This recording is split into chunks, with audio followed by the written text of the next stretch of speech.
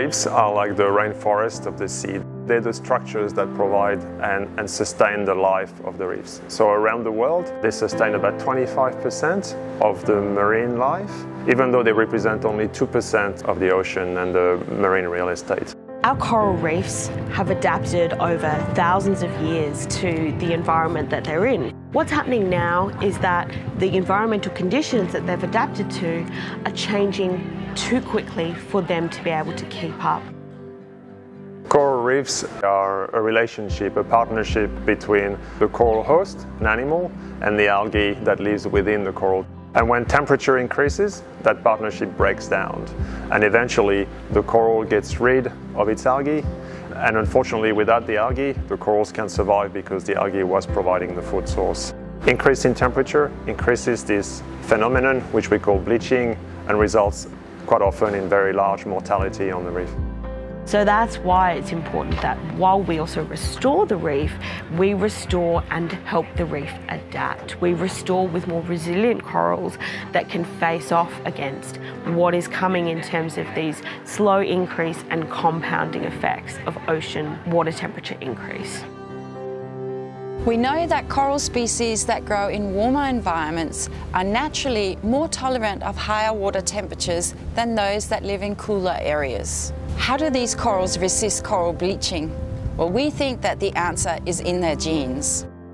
There are corals out there in the world that have already been able to adapt to increased temperature and they've been able to develop strategies to resist to this, to this change. We're collecting coral samples from across the Great Barrier Reef, from Lizard Island in the north to Heron Island in the south.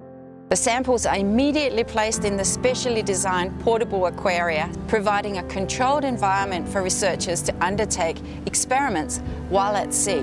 We'll be able to identify corals more resilient to warmer environments by recording whether a coral is bleaching during the heat stress test, and if so, at what temperature. At the end, we will map the distribution and abundance of naturally heat-tolerant corals across the Great Barrier Reef. What we're trying to do here is to bring these corals that I've already learned, that I've already adapted, and help them reproduce in very large amounts in our dedicated facilities, what we call conservation aquaculture. And then we want to release these corals into the wild in very large numbers. And over time, what we're hoping to do is essentially accelerate adaptation that we consider natural, but here we're trying to make it keep pace with the, the climate change.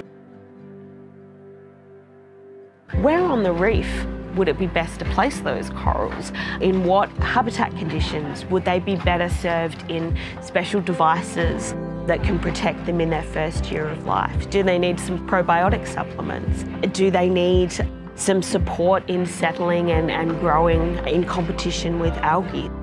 What we know is that it's not going to be a single scientific breakthrough that's going to improve the heat tolerance of corals. It's bringing all sorts of scientific disciplines together to collectively improve not only the heat tolerance but the fitness of these corals in general to face what we know is going to be a difficult future for them.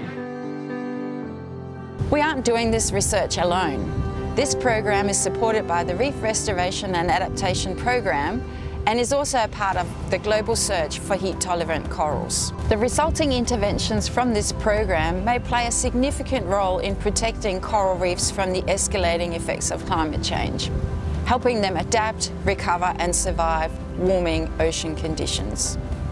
What's so exciting about this research is that we are bringing in the greatest minds from across the world, but also within Australia. So we have mathematicians, engineers, biologists, ecologists, geneticists, all working together to solve this really complex problem.